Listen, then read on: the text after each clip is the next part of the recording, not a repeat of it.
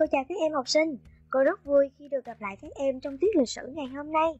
Để học tốt tiết học, các em cần chuẩn bị sẵn sách lịch sử lớp 4. Ở mỗi nhiệm vụ, các em có thể dừng lại video để thực hiện nhiệm vụ nhé. Nào, bây giờ chúng ta hãy cùng khởi động với thử thách đầu tiên nhé. Trên màn hình của cô có hai cột A và B. Nhiệm vụ của các em là hãy nói các nội dung ở cột A sao cho phù hợp với nội dung ở cột B. Các em có 30 giây để hoàn thành. 30 giây bắt đầu.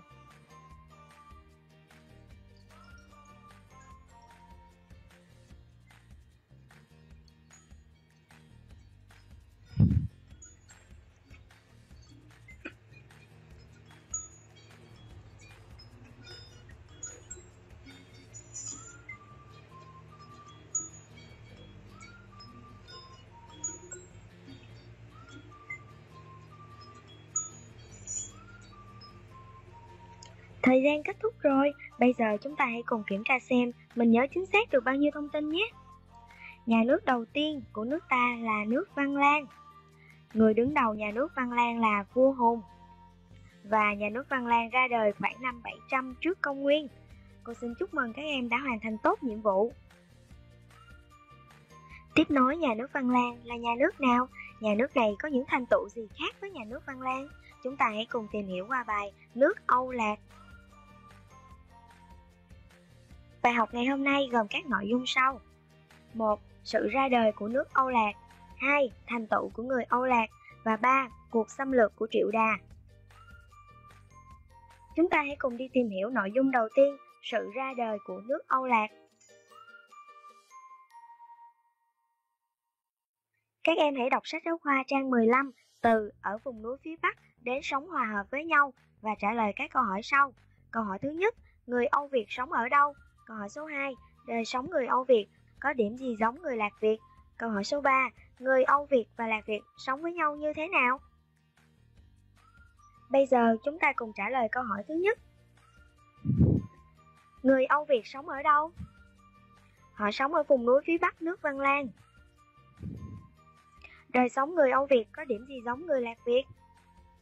Họ biết chế tạo đồ đồng thau, trồng lúa, chăn nuôi, đánh cá và có những tục lệ giống nhau. Người Âu Việt và Lạc Việt sống với nhau như thế nào? Họ sống hòa hợp với nhau. Đúng vậy các em à, người Âu Việt lúc bấy giờ sinh sống ở vùng núi phía Bắc nước Văn Lan. Cuộc sống của họ có nhiều nét tương đồng với cuộc sống của người Lạc Việt. Họ cùng sinh sống hòa hợp với nhau. Đến cuối thế kỷ 3 trước công nguyên thì họ đã hợp lại thành một nước, đó là nước Âu Lạc. Vậy, tại sao người Âu Việt và người Lạc Việt lại hợp nhất lại thành một nước? Chúng ta hãy cùng tìm hiểu qua phần tiếp theo nhé!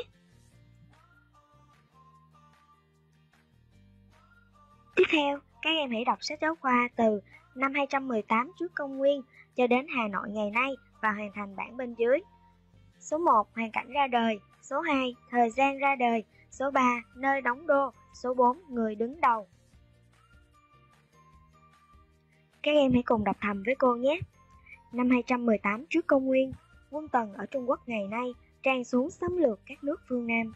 Thục Phán đã lãnh đạo người Âu Việt và Lạc Việt đánh lui giặc ngoại xâm, rồi sau đó dựng nước Âu Lạc, tự xưng là An Dương Vương, kinh đô được dời xuống vùng Cổ Loa, Đông Anh, Hà Nội ngày nay.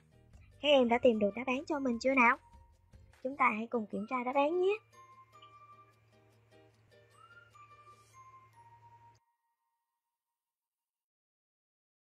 Nước Âu Lạc ra đời trong hoàn cảnh quân Tần xâm lược các nước phương Nam. Thời gian ra đời vào khoảng cuối năm 218 trước công nguyên là cuối thế kỷ 3 trước công nguyên. Kinh đô được đặt tại Cổ Loa, Đông Anh, Hà Nội ngày nay. Các em nhìn vào bản đồ, chúng ta thấy đây là vùng trung tâm đất nước gần các con sông lớn, thuận tiện cho việc đi lại. Và người đứng đầu nhà nước Âu Lạc đó chính là Thục Phán, An Dương Vương. Các em thấy đó, với sự chỉ huy của Thục Phán, họ đã đoàn kết đánh đuổi ngoại xâm. Cuối thế kỷ 3 trước công nguyên, nước Âu Lạc ra đời tiếp nối nước Văn Lang. Và sau khi ra đời, nước Âu Lạc đã làm nên những thành tựu gì? Chúng ta hãy cùng tìm hiểu phần tiếp theo nhé! Tiếp theo chúng ta hãy cùng tìm hiểu phần 2, thành tựu của người Âu Lạc.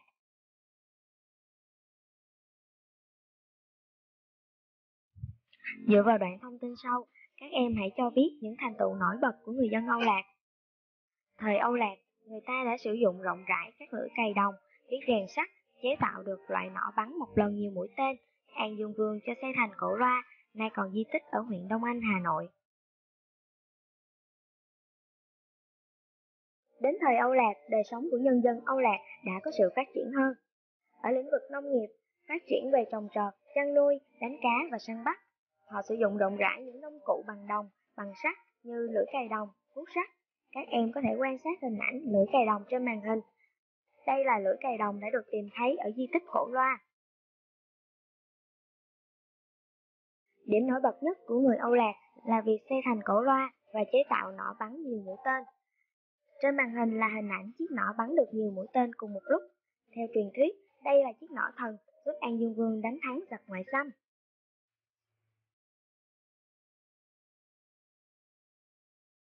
Đến thế kỷ 19, các nhà khảo cổ khám phá ra rất nhiều mũi tên đồng ở phía nam thành cổ loa với số lượng hàng nghìn mũi tên.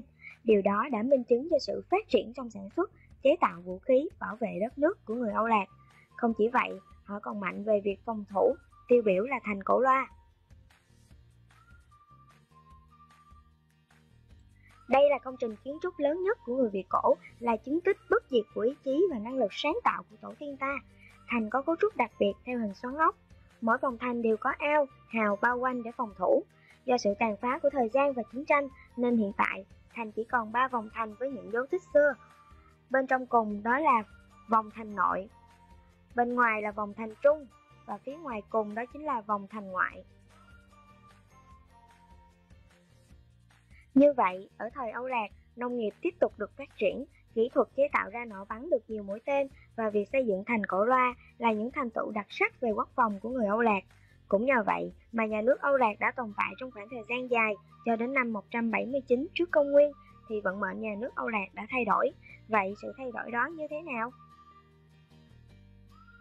Mời các em đến với nội dung cuộc xâm lược của quân Triệu Đà. Các em hãy đọc sách giáo khoa trang 15 từ Triệu Đà đến bị đánh bại và cho biết vì sao Triệu Đà nhiều lần xâm lược Âu Lạc nhưng thất bại. Các em cùng đọc thầm với cô nhé. Triệu Đà, vua của nước Nam Việt, miền Nam Trung Quốc ngày nay, nhiều lần kéo quân sang xâm lược nước Âu Lạc. Người Âu Lạc đoàn kết một lòng chống giặc, lại có tướng chỉ huy giỏi, vũ khí tốt, thanh lũy kiên cố, nên lần nào quân giặc cũng bị đánh bại. Các em đã có câu trả lời của mình chưa nào? Chúng ta hãy cùng kiểm tra đáp án nhé. Triệu Đà nhiều lần xâm lược Âu Lạc nhưng thất bại là vì Người Âu Lạc đoàn kết một lòng chống giặc, lại có tướng chỉ huy giỏi, vũ khí tốt, thành lũy kiên cố, nên lần nào quân giặc cũng bị đánh bại. Nhưng Triệu Đà vẫn không từ bỏ âm mưu đấy. Sau đó, nhà Triệu đã xâm chiếm thành công Âu Lạc, nước ta rơi vào ách đô hộ của phong kiến phương Bắc.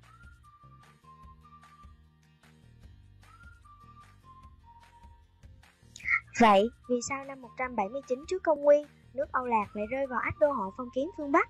Cô mời các em đọc tiếp đoạn trích trang 16 và trả lời câu hỏi này nhé.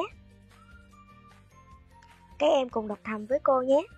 Tương truyền rằng, biết không thể thắng nổi người Âu Lạc bằng sức mạnh quân sự, Triệu Đà đã hoãn binh, cho con là Trọng Thủy sang làm con rể An Dương Vương để điều tra cách bố trí lực lượng và chia rẽ nội bộ những người đứng đầu nhà nước Âu Lạc.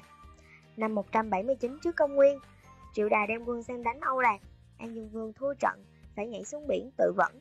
Từ đó, nước Âu Lạc rơi vào ách đô hộ của các triều đại phong kiến phương Bắc. Các em đã có câu trả lời cho mình chưa nào? Cô mời các em cùng kiểm tra đáp án nhé. Năm 179 trước công nguyên, nước Âu Lạc rơi vào ách đô hộ phong kiến phương Bắc vì Triệu Đà đã điều tra được cách bố trí lực lượng và chia rẽ nội bộ những người đứng đầu nhà nước Âu Lạc. Lúc bấy giờ, Triệu Đà đã đưa con trai của mình là Trọng Thủy sang Âu Lạc giả vờ làm thân và làm con rể của An Dương Vương, rồi đánh cắp bí mật quân sự, gây ra sự mâu thuẫn giữa những người đứng đầu nhà nước Âu Lạc. Năm 179 trước công nguyên, Triệu Đà kéo quân sang nước ta, chiếm được thành Cổ Loa, sau đó mở rộng tấn công xuống phía Nam. Cuối cùng, quân Triệu Đà đã chiếm được nước Âu Lạc. Nội dung vừa rồi cũng khép lại bài học ngày hôm nay. Các em cùng cô nhắc lại những ý chính cần ghi nhớ nhé. Cuối thế kỷ 3 trước công nguyên, nước Âu Lạc tiếp nối nước Văn Lang, nông nghiệp tiếp tục được phát triển, kỹ thuật chế tạo ra nỏ bắn được nhiều mũi tên và việc xây dựng thành cổ loa là những thành tựu đặc sắc về quốc phòng của người dân Âu Lạc. Năm 179 trước công nguyên, quân Triệu Đà đã chiếm được Âu Lạc. Tiết học đến đây là kết thúc rồi. Cô xin chào tạm biệt và hẹn gặp lại các em. Chúc các em học tập thật là tốt nhé.